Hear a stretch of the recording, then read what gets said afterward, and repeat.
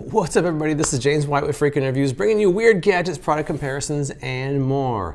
If you like this video, please consider subscribing for more videos like this. Now, today I've got five optical illusion gadgets. Do they really work? Let's check it out in today's video.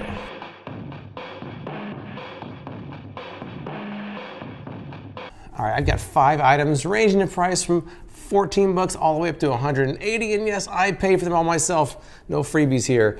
So uh, let's get started with the first one hologram projector. Now when you think hologram projector you think of some high-tech device that's going to get you thousands of dollars. No not in this case. This is a cheap hologram projector. Check it out.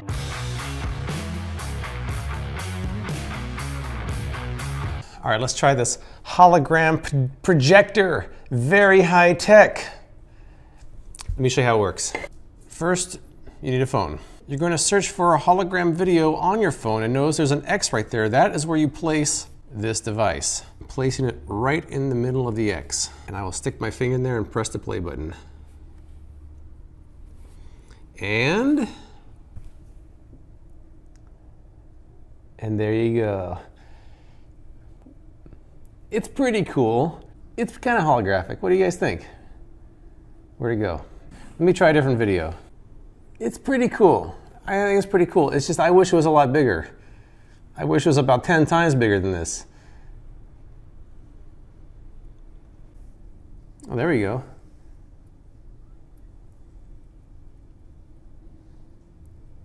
So yeah, I mean, I think I think the hologram projector might be a little bit more high tech sounding than this is. This is more of of a, of a mirror. It just it's, it's basically taking what's on your phone and kind of making a hologram-ish image out of it.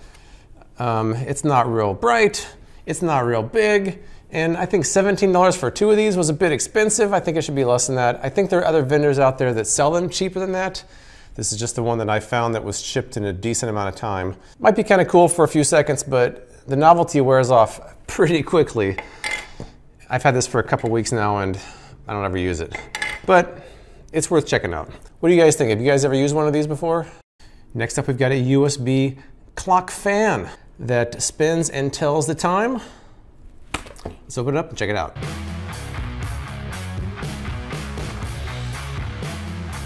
I've got my computer here, I'm gonna plug it in, and according to these instructions, the time should be somewhat easy to set. Let's try it out. All right, it's plugged in. Let's try the on-off switch, and oh, we, oh, we've got a clock. Oh, uh, my camera is not picking up what I'm seeing. What I'm seeing is a static image. Let me mess with my camera settings and try to get it right for you. All right, that's about as good as I can do with my camera, but you can see how it looks like a static fan, and you can even see this, the second hand moving around the clock itself.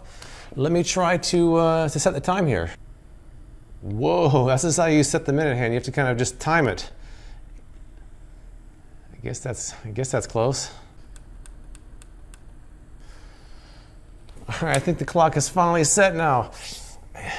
I just kind of want to think maybe since you're plugged into a computer, you would think that it wouldn't be that hard for it to just read the time off your computer rather than have to deal with that. But that being said, it is pretty cool. Look at that. Let me try the fan itself. I'll just uh, sit here on my computer and uh, with a nice breeze as I'm looking at the time staring me right in the face. It'd be nice if there was some sort of a variety to this because the clock is cool, but eventually you don't really care about the clock anymore. It'd be cool if it had some sort other things you could do in there. But so it's a simple design. I think it works pretty well. It actually is pretty cool. It's decent as a fan, so I think that it's all right. It only cost me 14 bucks. It isn't terrible, I don't think. It's completely useless. You're not going to really need, have, have a need for this. And it's actually kind of hard to film too. The geek factor is there. People will definitely be asking you about this if you have one of these attached to your computer. But let's, let's move to the big leagues now for my $180 holographic fan.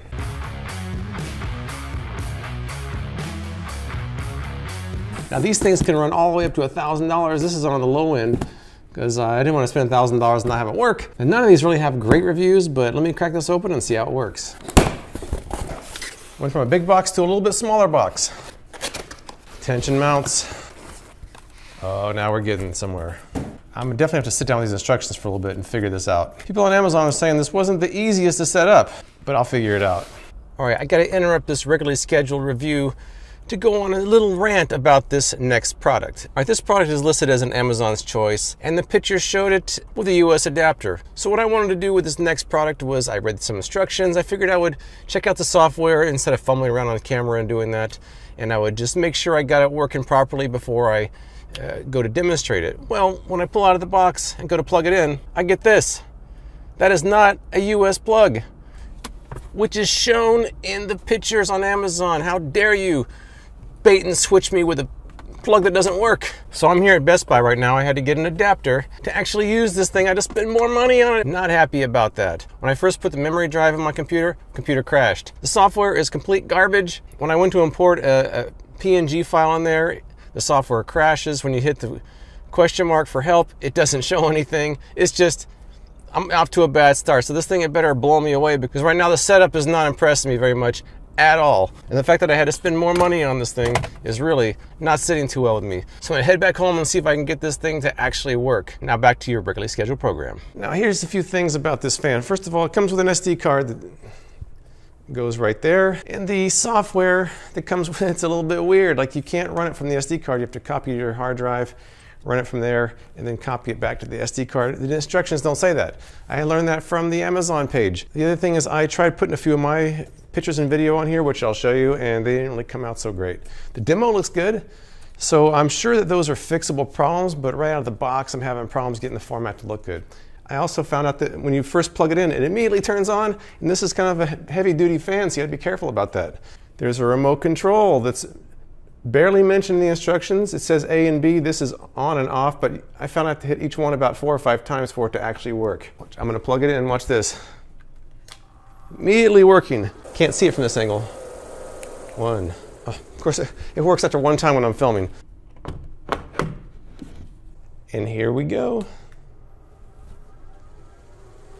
This is the demo. It looks pretty good, right? Looks like it's floating right there in my living room, but it's just a fan that's spinning with LED lights. Now, when I tried mine, you'll see how they look not quite as good. This is the video of myself. It, it does actually fix itself. There I am. There I am floating in my living room. Very cool. The next one I did was my logo, and that's how it turned out. I tried a couple different formats. Neither one really worked. So if there's better instructions, I might be able to figure that out. I'm sure there is a solution, but I haven't figured it out just yet. The video of me looks pretty cool when it works, but it doesn't work the whole time. It's kind of a loud fan, and here's the funny thing. I don't feel any breeze from this fan at all. I feel more of a breeze on the other side of it.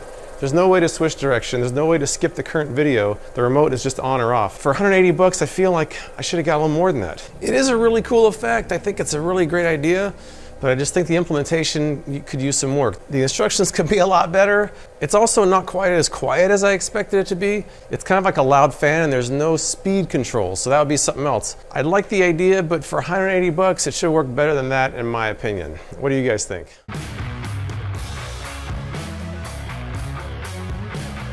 This is the Euler's disc. There's a sharper edge and a smoother edge here. You're gonna spin it smooth edge down, and you also have three different magnetic faces you can place on there. I'm gonna try this one first. What you do is slap it on there, it stays easily.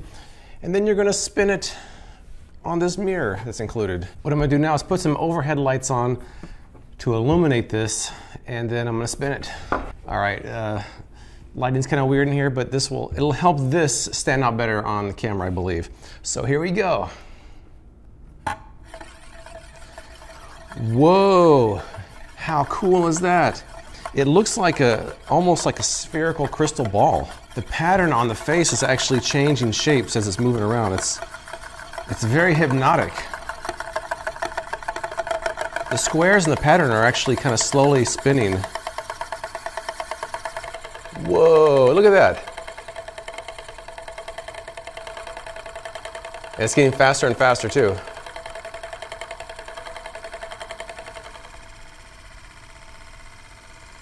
Still going. Oh, look at that. How cool is that? Whoa.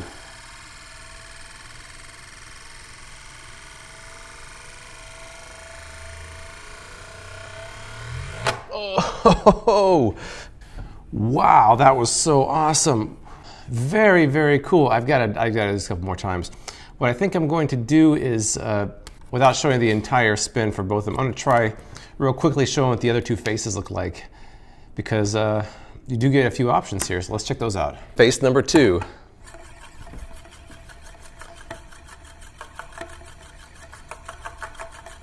This reminds me of the uh, this futuristic computer in the uh, the Time Machine movie where they spun these discs.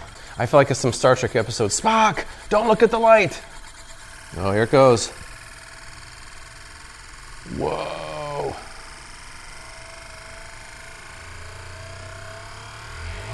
Oh, I love that ending. All right, let me try the last face. One more. This is more of a speckled look. You can see that there's like greens and reds mainly in there. It's also kind of a flicker, so you might want to keep that in mind as well.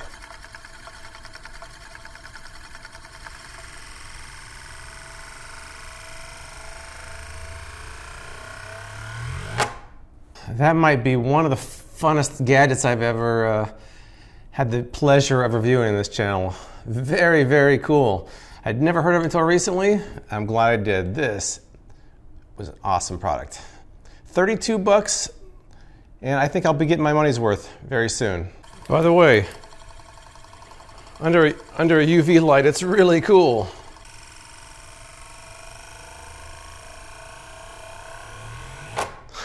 That never gets old, especially under UV light. Very cool.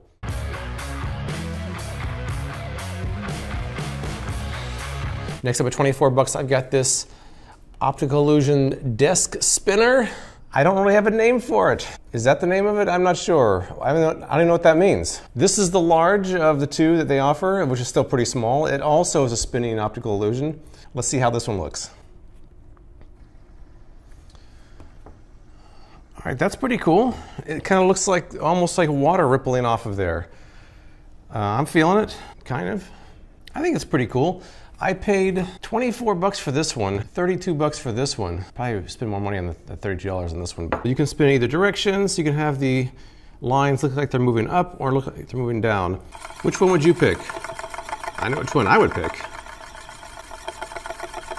Let's have a little fun and see which one lasts longer between the Euler's disc and the transferred gyro, I think they're calling this. Get my stopwatch out and see which one actually spins the longest. Here we go. I'll spin one, then the other. I'll spin them both as hard as I can. And again, it's not scientific, but I'm to spin both of them as hard as I can and see which one lasts longer. Let's go. And now we wait. Tension is killing me. Tension mounts.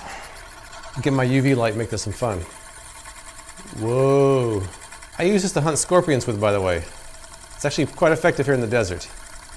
But I digress. Uh oh I think this is going to be the winner. 145 for the Euler's disc, and this one is still spinning.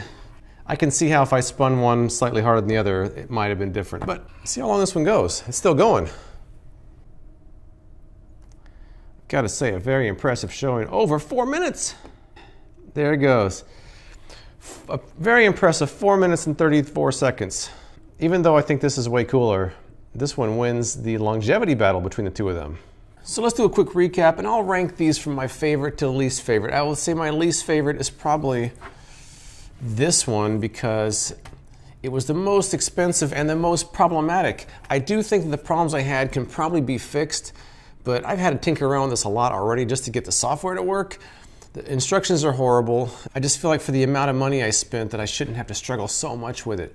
I think there's a lot of potential here and there might be other models that work better. This one I'm a little disappointed with. Keep watching my social media and I'll probably post uh, pictures in this later on if I get it working properly. Number four, I'll take the hologram projector only because it's just a cheap piece of plastic. That's all it is. To call this a projector is, is really pushing it. And uh, there's cheaper ones out there I, that are probably a little better deal. The one I paid for was a little bit overpriced, I think. Um, and not to mention that it's kind of dim. It's not really a true hologram. It's just more of a, a mirror. It's it's not that great. It's okay. I would have paid two dollars for it and been happier. I would say number three on my list. It's a close number three. Is uh, this spinner right here? I think the only reason I would put this number three is because it really doesn't do that much. I mean, once you spin it, you just kind of stare at it, and it, it doesn't really change. It just The effect is cool, but eventually you're not going to stare at this for four or five minutes. Cool idea. $24 seems a bit steep for this. I think if it was 10 or $12, it might be worth it. Number two, I'm going to say is the clock fan that actually I was able to get to work with a regular battery pack. So it doesn't just go on your computer, it can go on any USB. Uh, I think the fact that it's only 14 bucks and it does work pretty much as advertised, pretty easy to set the time. I think that this one qualifies it as a good number two. And of course, the obvious number one will be the Euler's disc. This thing is it's fun to watch, it's fun to spin, it's fun to try the different faces on it. It's well made. This thing is a, it's very heavy. I just think this is my favorite one of these, and I've, I've actually shown quite a few people this, and they've all been pretty, uh, pretty mesmerized by it. So to me, the Euler's disc is the number one choice for my favorite optical illusion of this batch. Have you guys tried any of these optical illusions? Tell me what you think in the comments below. Please follow my social profiles for progress pictures, videos as I go, and please subscribe for more product reviews from me, James White, with Freakin' Reviews.